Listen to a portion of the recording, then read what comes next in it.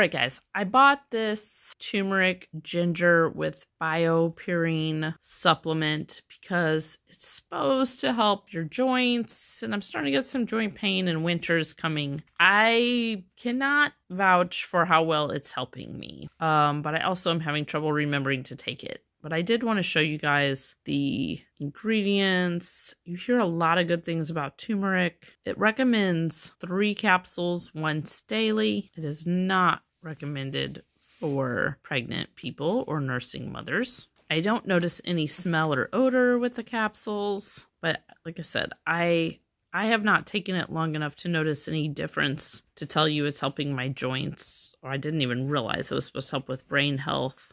I like that it came with this BioPerine, which apparently helps turmeric and ginger absorb better. It says for better absorption.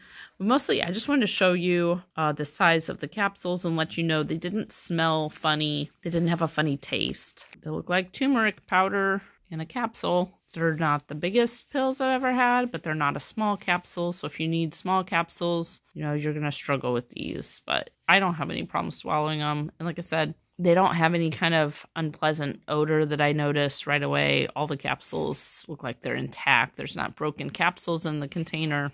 Hope that helps you know if this is the turmeric ginger supplement that you want to buy.